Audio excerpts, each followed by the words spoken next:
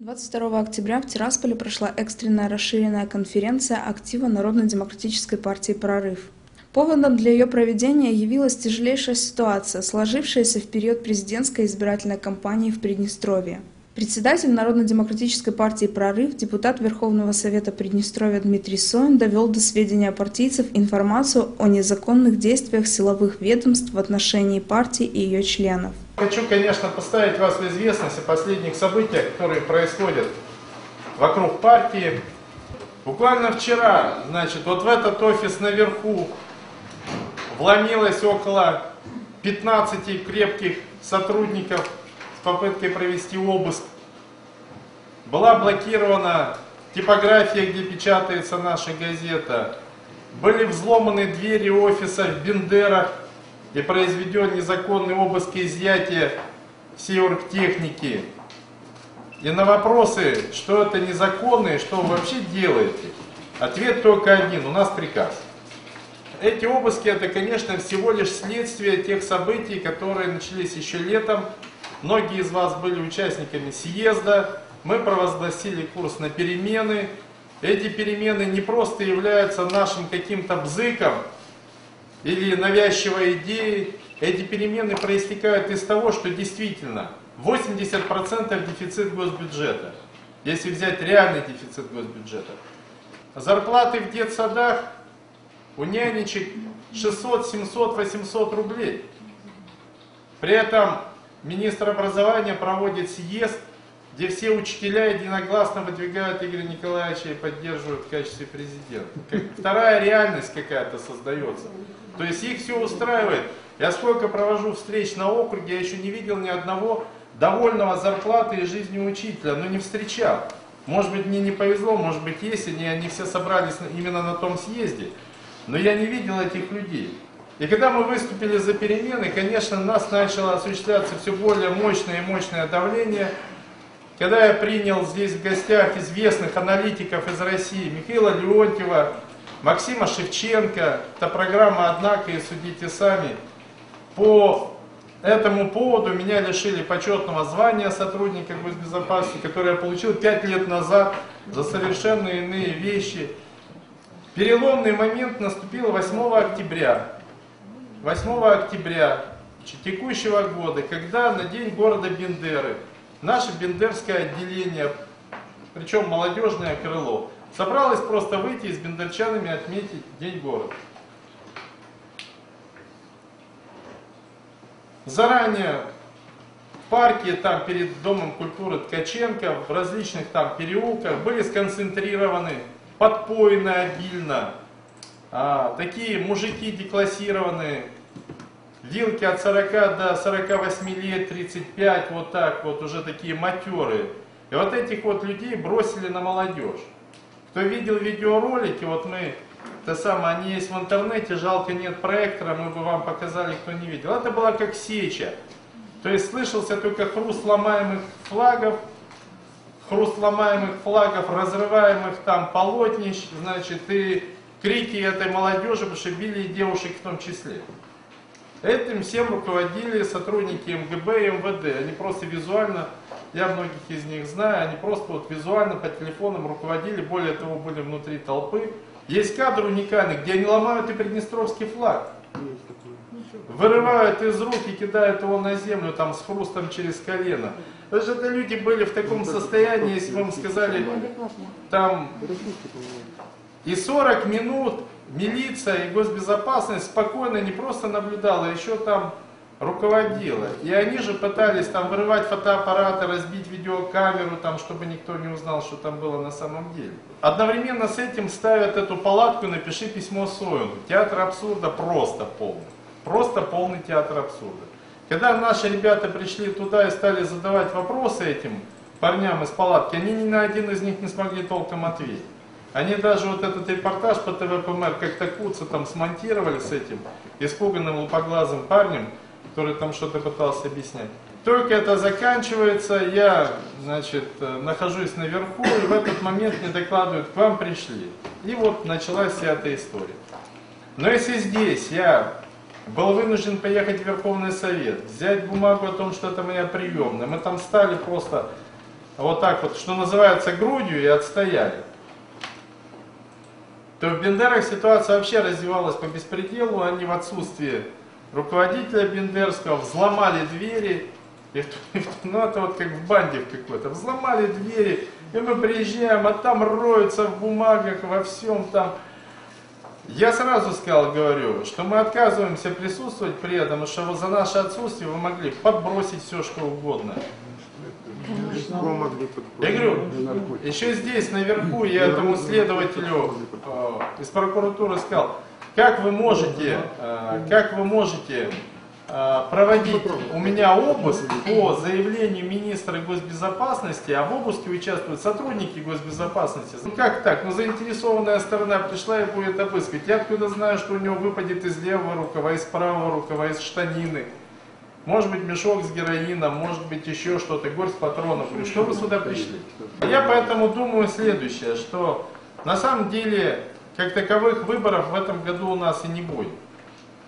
Как таковых выборов, скорее всего, не будет, что в таких условиях какая может быть выборная кампания. Все запуганы настолько, что я вот вчера посмотрел там на Днестр ТВ выступление выступление того же Евгения Шевчука, я понял, что и он боится просто слово Смирнов сказать. Ему корреспондент говорит, а как вы оцениваете деятельность Смирнова? Он говорит, я не хочу это обсуждать. Ну, можете посмотреть. Но даже наша уважительная критика, не огульная, не без оскорблений, а просто о том, что ему пора уйти, вызвала вот такую реакцию на действия, на действия партии. Я вот был на скольких съездах я заметил такую вещь, что даже на съездах партий, которые выступают как оппозиционные, я там не слышал даже фамилии. Меня это даже удивляло. Вот, вот насколько у нас э, система работает. Мы, анализируя ситуацию и видя, что происходит, э, даем четкую оценку, если не прекратится вот эта политика экономическая и социальная, которая есть сегодня у нас, республики не станет максимум через год-полтора. В продолжение собрания слово взял первый заместитель председателя НДП «Прорыв» Александр Гореловский. В своей речи он подчеркнул. В общем-то, вы бросили вызов власти. Это может быть даже и опасно. А, я, я всегда отвечаю следующее, что мы не боимся только потому, что э, за нами стоит Россия. Полнейшая поддержка, причем всех структур. Как администрации президента, как Госдума и так далее и тому подобное. К сожалению, здесь телевизоров мы видим, а кто такой Шевченко, а кто такой Леонтьев. Потом они начали говорить, а кто такой Букаев, представитель администрации президента. Недавно они сказали, а кто такой Нарышкин, глава администрации президента. Завтра они будут говорить, кто такой Путин и кто такой там Медведев, там, я не знаю. Это, то есть они ну, идут по полнейшему беспределу информационному. Я, просто других слов. Над ними уже смеяться люди начинают. Член Центрального комитета НДП «Прорыв» Владимир Климань выступил перед партийцами и рассказал о тяжелом положении дел в республике и подчеркнул важность позитивных перемен в Приднестровье. Одна политика. Мы должны быть только с Россией. Все. Остальные Европе мы не нужны, они он сами не могут себе рады дать, там э, берутся, э, деньги друг у друга вытаскивают. Россия, она как мать, она покорит, по, поругает, но опять даст денег, опять даст э, помощь и опять будет э, поддерживать. Председатель Бендерского отделения НДП «Прорыв», депутат Горсовета города Бендер Юрий Зотов подробностях рассказал о последних событиях, развернувшихся вокруг Бендерского офиса партии. Видели, что вокруг партийного офиса какая-то суета, какие-то люди подозрительные, похожие на сотрудников МГБ, даже какие-то знакомые мелькали, все-таки город маленький. Но абсолютно без всяких каких-то там мыслей мы вот выстраиваем колонну. И получилось так, что мы с задержкой вышли. Мы вот, наверное, где-то в 10.30. И в это время как раз Игорь Николаевич Смирнов на площади Бендера, где мы должны были пройти, пил чай с баранками. Там.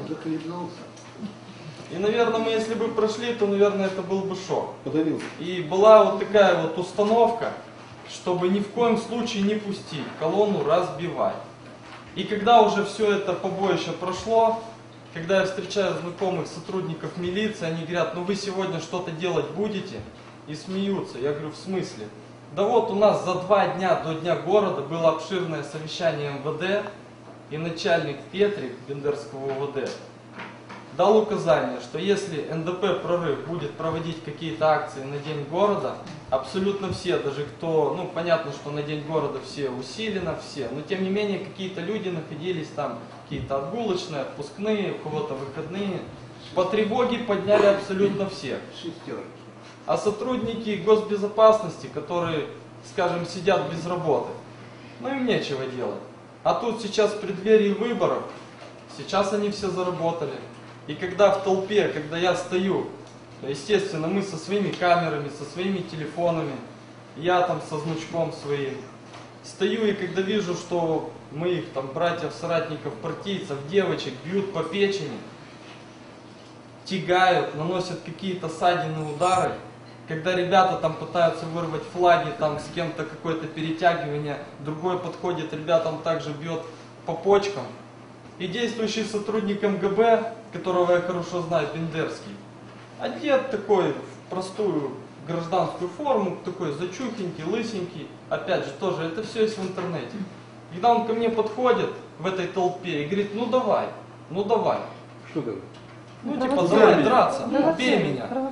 А я руки в карман и думаю, ну обычно, когда приходят драться, они спрашивают, давай, не давай, просто бьют и Чисто уходят. Я поворачиваю голову, в Что, типа, 10 метрах стоит человек 15 типа, сотрудников МГБ, сотрудников. и все снимают на камеры. Я поворачиваюсь к нему, смотрю на него и улыбаюсь. А он Понимая, что это провокация, то Ну есть в таком состоянии шока. А он этого не ожидал. А он этого не ожидал. Они, они ждали Дмитрия. Юрьевича, но Дмитрий Юрьевич был на переговорах в Тирасполе, он должен был подъехать позже. Они хотели заснять, как депутат Верховного Совета Соин, депутат Бендерского горсовета Зотов, вместе с Гореловским мы там бьем, убиваем, и чтобы по ПМР потом это все показать, что вот они, террористы-смертники. И когда в интернете, вот абсолютно все видео со всех телефонов, даже все это происходило возле крыльца партийного офиса, даже с камер наружного наблюдения. Когда мы говорим, да все, что вы хотите, какие-то пьяные отморозки, я показываю удостоверение депутата, я говорю, ты кто такой, от него разит перегаром, и он говорит, слышишь ты, молодой сопляк, у тебя еще сопли не высохли, придурок ты. Но я понимаю, что они провоцируют. Но мозгов у меня, слава богу, больше, чем у них у всех взято. По итогам конференции была единогласно принята резолюция, которую зачитала лидер молодежного крыла НДП «Прорыв» Юлия Жукова. Власть ненавидит нас за то, что мы первыми громко заявили о необходимости перемен, о необходимости смены политического лидерства в Приднестровье. В настоящее время против председателя Народно-демократической партии «Прорыв» депутата Верховного Совета, Дмитрия Юрьевича Соина осуществляется кампания лжи и клеветы в государственных СМИ. На него обрушились с необоснованными выпадами прикормленные действующей властью общественные организации. Мы понимаем, что сегодня речь может идти даже об угрозе жизни и здоровью Дмитрия Юрьевича Соина. Вместе с ним развернуты репрессии против наших активистов в учебных заведениях в Приднестровском государственном университете.